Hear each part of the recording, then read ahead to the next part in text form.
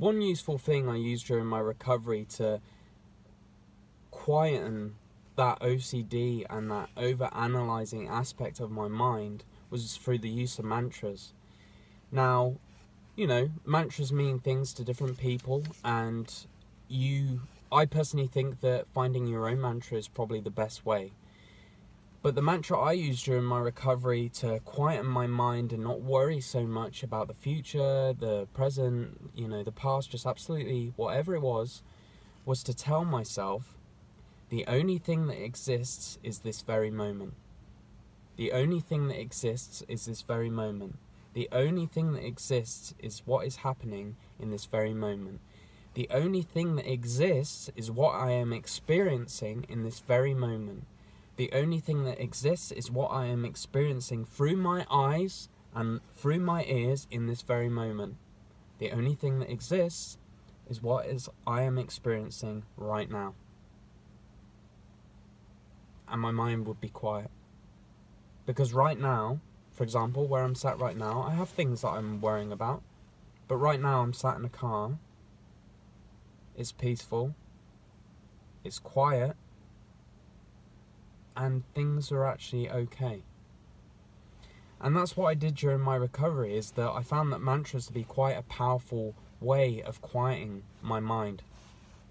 Obviously, there were other tools that I've already spoke about, like EFT is another way of voicing out while um, trying to take the pressure off your mind from over analyzing your situation to the point where you're par- paralyzed.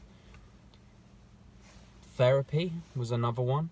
But I personally found that when I spoke to myself, I could be 100% brutally honest.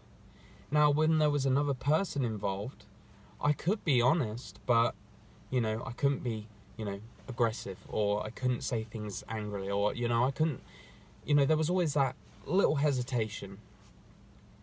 And another one is I would write write it down. But I personally found the mantras really helpful. Sorry, I'd start my car.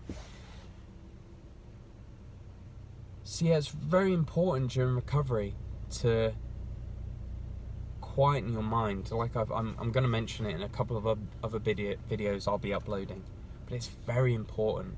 You know, and the way you get out of this problem is getting your body into that relaxed, calm state and letting your body do the job it's, it knows to do.